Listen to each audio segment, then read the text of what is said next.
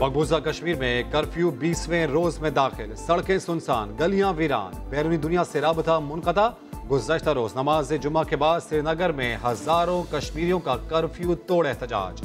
کانگریسی رہنما راہل گاندھی کا سری نگر میں داخلہ بند، ایئرپورٹ سے واپس بھیج دیا گیا۔ وزیر خارجہ اور اقوام متحدہ کے سیکرٹری جنرل کے درمیان آج رابطہ ہوگا۔ شاہ محمود مقبوضہ آبادی کی صورتحال سے آگاہ کریں گے۔ مستقل مندوب ڈاکٹر ملیحہ لودی کہتی ہیں، کشمیر میں لاوا پک رہا ہے، جو کسی بھی وقت پھٹ سکتا ہے۔ مظلوم کشمیری، بھارت کی ریاستی دہشت گردی کا شکار، ہندوستان میں اقلیتوں کو حقوق نہیں دیے جا رہے۔ واو نے خصوصی برائے اطلاعات، فردوس ساشک اوان کہتی ہیں، حکومت کا رواں ہفتے کشمیر سے یکجہتی کا دن منانے کا اعلان۔ وزیر اعظم عمران خان قوم سے خطاب کریں گے۔ مودی کا جو یار ہے، غدار ہے غدار ہے۔ وزیر ریلوے شیخ رشید نے آزاد کشمیر میں ریلی سے خطاب میں نعرے لگوا دیے۔ بولے، یقین ہے، مودی حملہ نہیں کر سکتا۔ اور اگر جنگ ہوئی تو ہندوستان میں گھاس نہیں اگے گی۔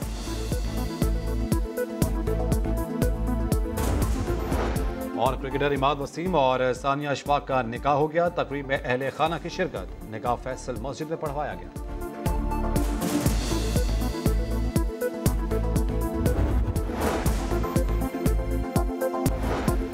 مقبوضہ کشمیر میں کرفیو بیسویں روز میں داخل۔ سڑکیں سنسان، گلیاں ویران۔ بیرونی دنیا سے رابطہ منقطع۔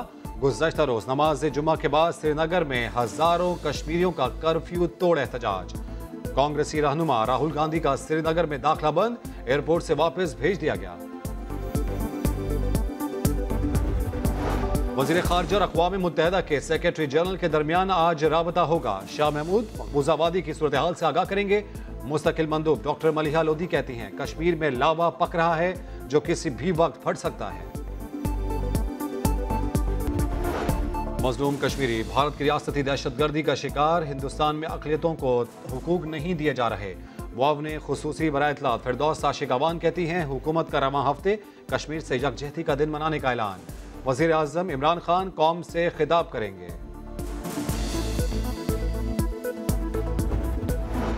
مودی کا جو یار ہے، غدار ہے غدار ہے۔ وزیر ریلوے شیخ رشید نے آزاد کشمیر میں ریلی سے خطاب میں نعرے لگوا دیے۔ بولے یقین ہے، مودی حملہ نہیں کر سکتا۔ اور اگر جنگ ہوئی تو ہندوستان میں گھاس نہیں اگے گی۔